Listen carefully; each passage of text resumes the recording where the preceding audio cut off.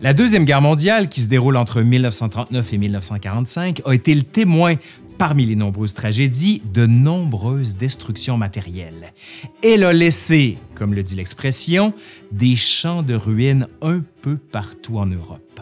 L'Allemagne nazie, tout au long de ses conquêtes, ne s'est pas contentée d'occuper, d'assassiner, de détruire, de déporter des populations ou d'humilier par toutes les façons possibles et inimaginables. Les nazis ont aussi voulu se saisir de nombre d'œuvres d'art pour les envoyer directement en Allemagne. On a voulu déposséder certaines grandes familles et des grands musées pour enrichir le Reich. Telle était la volonté d'Adolf Hitler. Je vous dis qu'on a voulu parce que plusieurs ont résisté, caché et menti sur la présence de certaines œuvres afin de les préserver de la destruction ou de la dépossession. Des histoires pendant la Deuxième Guerre mondiale, il y en a des tonnes. Mais celle que je m'apprête à vous raconter se déroule au Louvre, mais aussi dans différents châteaux en France.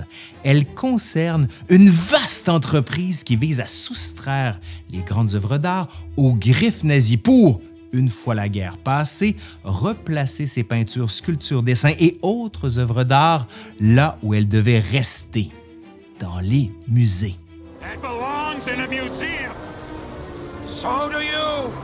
Cette histoire m'a été inspirée par un nouvel opéra sur un livret de Michel-Marc Bouchard et une musique de Julien Bilodeau, qui sera présenté bientôt à l'Opéra de Montréal et qui met en scène précisément ces événements. Ne vous en faites pas, je vais vous en parler plus longuement dans la seconde partie de la vidéo. Et d'ailleurs, je vais avoir besoin d'une personne qui s'y connaît en art. Ah oui, ah oui! Florence Agathe Dubé-Moreau. C'est parti! Oh, OK! Allô, Florence Agathe, comment ça va? Ça va bien, toi? Oui, alors qu'est-ce que tu fais déjà?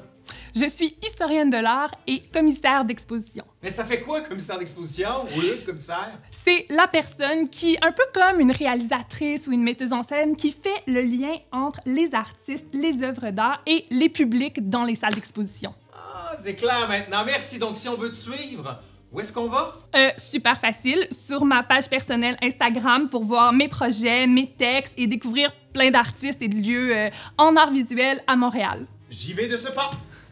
Allez, aujourd'hui à l'Histoire nous le dira, la folle histoire de la sauvegarde des œuvres du Louvre pendant la Deuxième Guerre mondiale.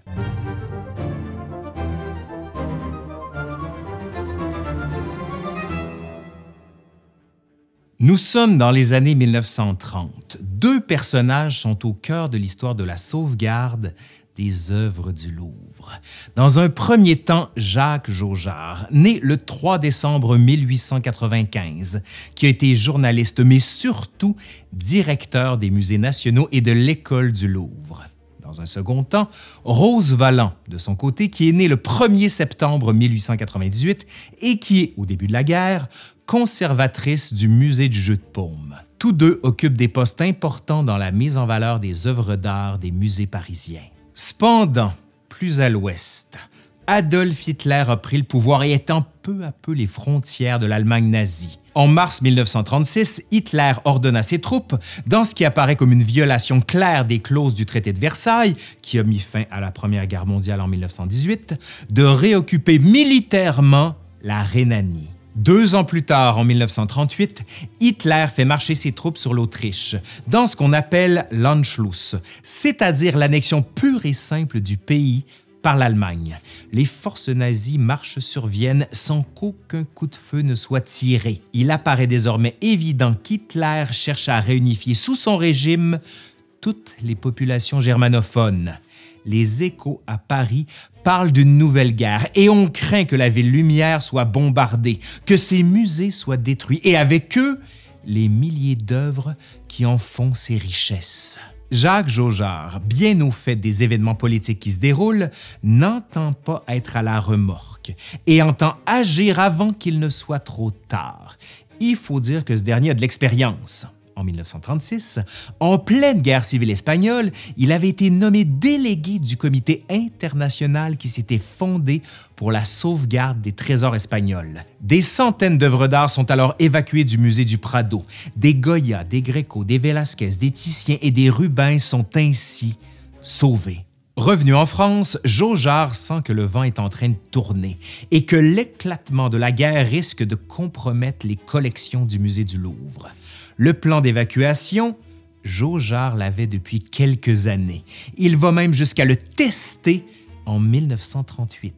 On avait depuis plusieurs années commencé à relever différents endroits qui pourraient recevoir les œuvres, comme Brissac, Cheverny, Chambord ou encore le château de Valençay. Ce dernier avait d'ailleurs été réquisitionné dès mars 1939. Arrive le grand jour, le 25 août 1939, soit quelques jours avant la déclaration de guerre officielle, le 1er septembre, l'opération est lancée. Le Louvre est officiellement fermé. Une armée de bénévoles s'affaire à emballer les œuvres, notamment par les emballeuses de la Samaritaine on décroche les tableaux et on les roule pour ne laisser que les cadres en place. On voit d'ailleurs sur une photo prise en septembre 1939 le spectacle de la Grande Galerie abandonnée, dépouillée de ses peintures. Au total, ce seront près de 4000 œuvres d'art qui seront envoyées un peu partout en France pour être à l'abri de la guerre et des nazis. La Joconde de Léonard de Vinci quitte le Louvre le 28 août 1939. Le chef-d'œuvre voyagera beaucoup, c'est le moins qu'on puisse dire. Dans un premier temps à Chambord, puis à Louvigny et à l'abbaye de Locdieu de Montauban, avant d'arriver dans le Lot, où elle reste pendant deux ans dans le château de Montal. Afin de ne pas attirer le regard indiscret, on ira même jusqu'à cacher la toile sous un des lits du château. Imaginez, la Joconde sous un lit.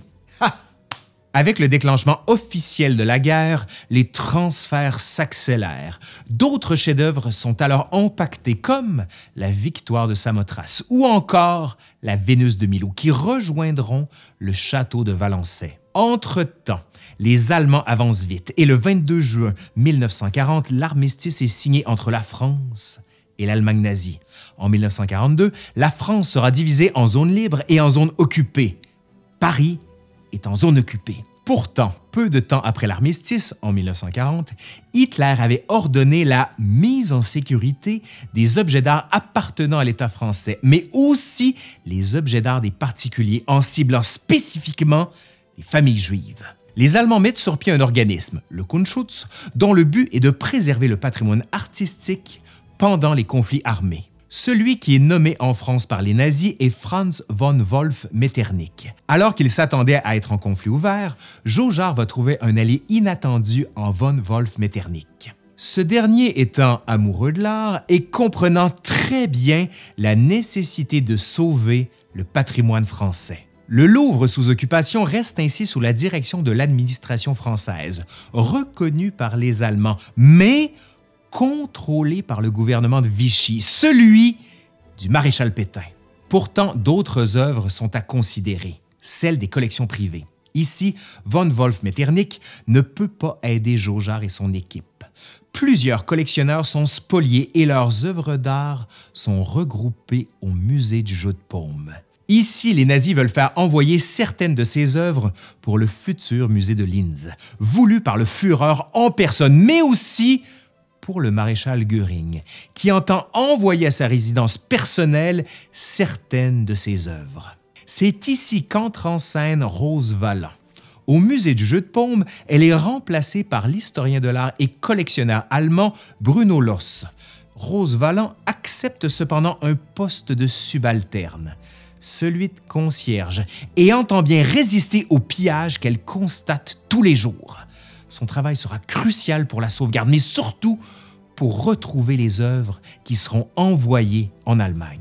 Petit point de contexte ici, il faut spécifier que pour les nazis, il y avait ce qu'on appelait l'art véritable et l'art dégénéré, qui correspondait grossièrement à l'art moderne, jugé décadent, juif et amoral. À la fin de 1940, Hermann Göring, un des hommes les plus puissants du Troisième Reich, se rend personnellement au musée du jeu de paume et constate que plusieurs œuvres sont, à ses yeux et à ceux des nazis, indignes. Elles doivent donc disparaître. Ces œuvres seront bientôt déposées dans une salle au fond du jeu de paume que Rose Valland nommera la salle des martyrs. En mai 1943, Rose Valland est témoin d'un des plus grands saccages jamais vus. Les nazis brûlent par centaines des œuvres dans le jardin des Tuileries qui jouxte le musée du jeu de paume.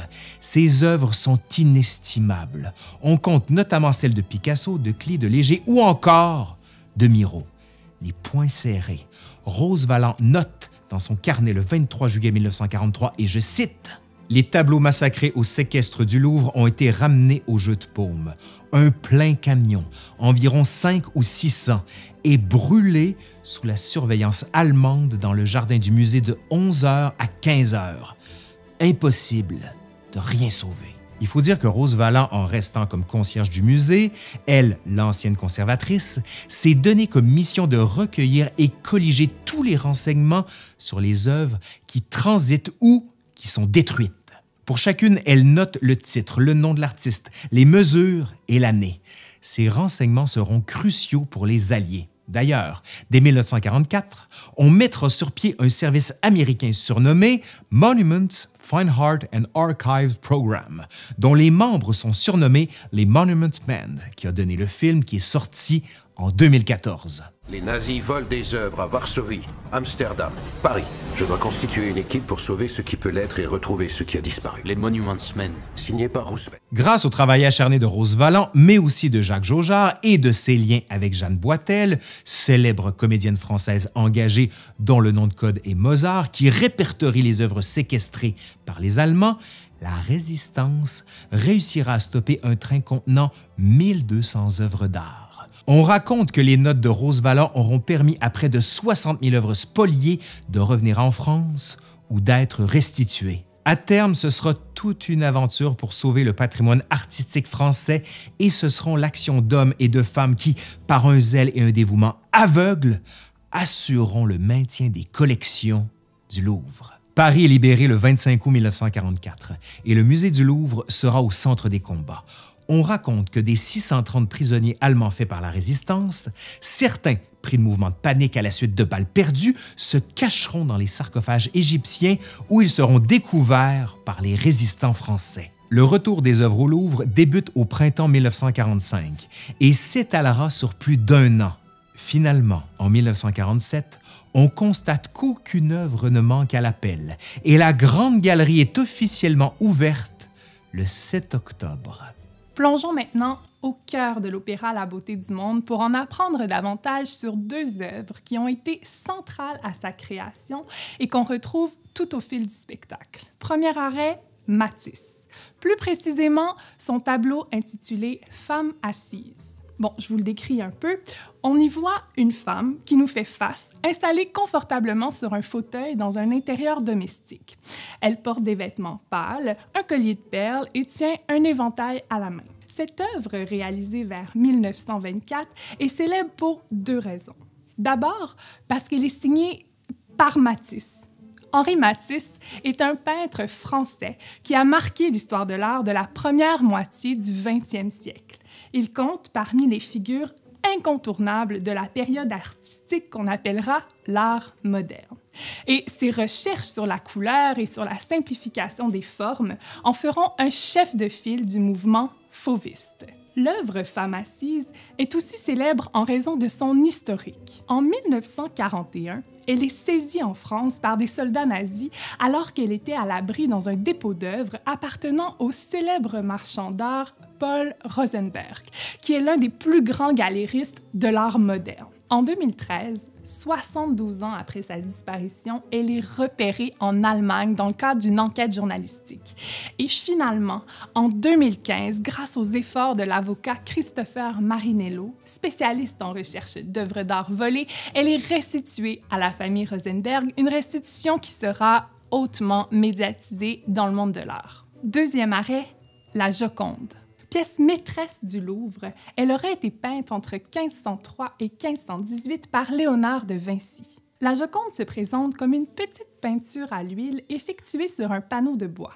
Il s'agit du portrait d'une femme qu'on croit s'être appelée Lissa, qui pose assise à l'avant-plan d'un paysage montagneux. Et certainement le trait descriptif le plus emblématique et le plus important de l'œuvre, la jeune femme nous regarde et nous sourit.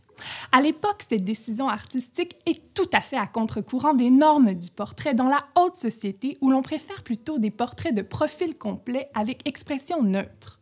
Ce qui fait que la Mona Lisa ou Madame Lisa en français est l'un des premiers portraits souriants de l'histoire de l'art. Mais c'est loin d'être le seul élément qui participe au mythe entourant cette œuvre. D'emblée, il faut souligner le fait qu'il existe à travers le monde moins d'une quinzaine de tableaux attribués à Léonard de Vinci et que la Joconde serait parmi les derniers qu'il aurait achevés avant de mourir subitement en 1519.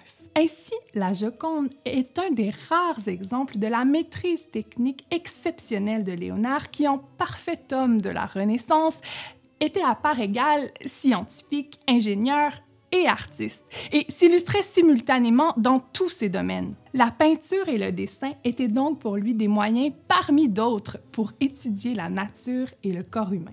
Et c'est exactement ce qu'on retrouve dans la Joconde, où, par exemple, le paysage en arrière-plan est emblématique de ses recherches mathématiques visant à repousser les limites de la représentation de la perspective en peinture. La Joconde est aussi un très bon exemple de ses recherches sur l'expression humaine. Les jeux d'ombre et la technique d'application de la peinture autour des yeux et de la bouche en font encore à ce jour l'un des portraits les plus mystérieux de l'art, suspendu quelque part entre une impression de bonheur et de mélancolie.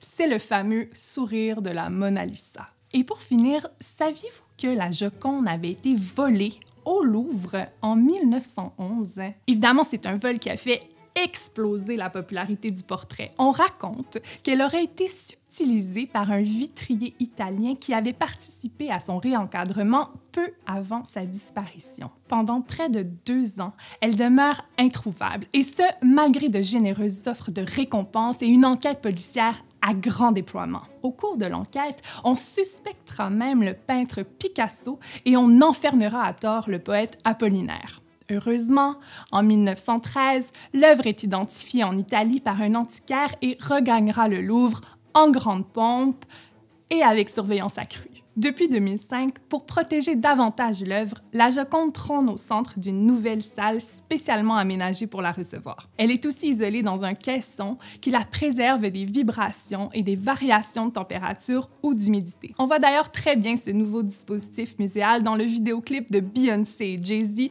tourné au Louvre. Probablement l'œuvre la plus célèbre au monde Aujourd'hui, la Joconde serait visitée et photographiée par environ 20 000 personnes chaque jour. On estime même que la moitié des visiteurs et visiteuses du Louvre n'y viendraient que pour voir le mythique tableau. Bref, on peut dire un beau merci à M. Jacques Jaujard d'avoir caché la Joconde en 1939. Allez, c'est fini pour aujourd'hui. J'espère que ça vous a plu. Si c'est le cas, ben, vous savez quoi faire. Un pouce par l'air, vous partagez, vous commentez, vous faites vivre la vidéo. Allez, je suis Laurent Turcot de l'Histoire nous le dira et je vous dis à la prochaine. Bye!